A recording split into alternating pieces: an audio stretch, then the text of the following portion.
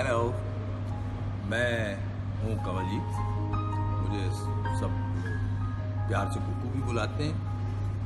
और मैं यहाँ पे दुबई में पाकिस्तानी फ़िल्म करने आया हूँ। और मैं चाहता हूँ कि आप पी बैक को पर सपोर्ट करें बिकॉज़ पी बैक स्पोर्ट्स को हेल्प कर रही है।